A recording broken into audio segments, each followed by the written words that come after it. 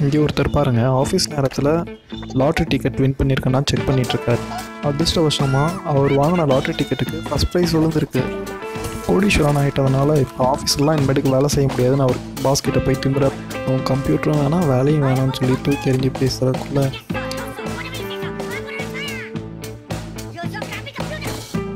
அவர் வாங்கின லாட்ரி சீட்டு அங்கேருந்த ஷட்டர் மிஷினில் சுக்கு ஆகிடுது பண்ணி பாஸ் கிட்ட நான் திரும்ப என் இடத்துக்கு போகலாமா அப்படின்னு கெஞ்சி கேட்குற நிலைமைக்கு போயிட்டாரு. இந்த ஃபன்னி வீடியோ உங்களுக்கு பிடிச்சிருந்துச்சுன்னா நம்ம கேவியூஸ் சேனலை சப்ஸ்கிரைப் பண்ணிவிடுங்க லைக் பண்ணுங்கள் ஷேர் பண்ணுங்கள் கமெண்ட் பண்ணுங்கள் தேங்க்யூ